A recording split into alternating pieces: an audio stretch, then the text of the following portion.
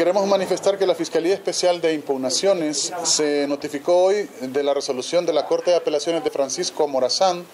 que confirma el auto de formal procesamiento dictado hace un año contra el presidente del Consejo de Administración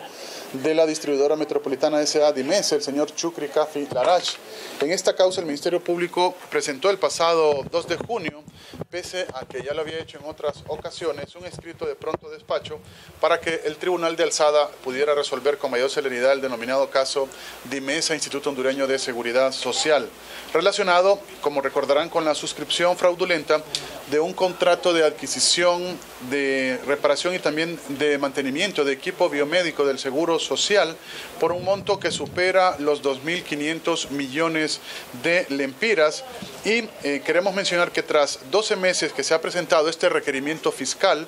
el expediente judicial eh, presentaba un evidente retraso.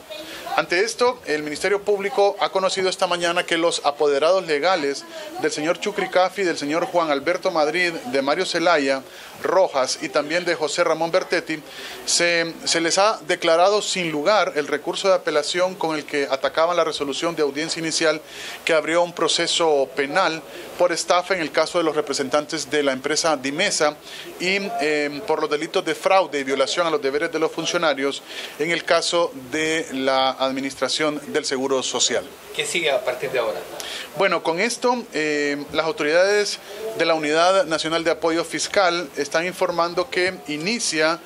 eh, a transcurrir el tiempo para que se lleve a cabo lo que es la audiencia preliminar en contra de los encausados y posterior a esto el juzgado que conozca la causa deberá de establecer las fechas para el juicio oral y público. Es decir, se retoma el juicio, en otras palabras, se abre la oportunidad para que él desvanezca esto o para que la fiscalía eh, continúe aportando pruebas.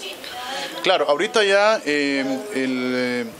se confirma el auto de formal procesamiento que se había dictado hace un año porque la apelación a la que ellos recurrieron eh, fue rechazada. Ahora habría que esperar o empieza a contar, mejor dicho, el tiempo para lo que es la audiencia preliminar y posterior a la audiencia preliminar se estaría fijando lo que es la audiencia para el juicio oral y público. Recuérdenos los antecedentes de este caso, por favor. Claro, eh, los antecedentes es que se suscribió eh, fraudulentamente un contrato eh, de adquisición, reparación y mantenimiento de equipo biomédico con el Seguro Social que iba arriba de los 2.500 millones de lempiras.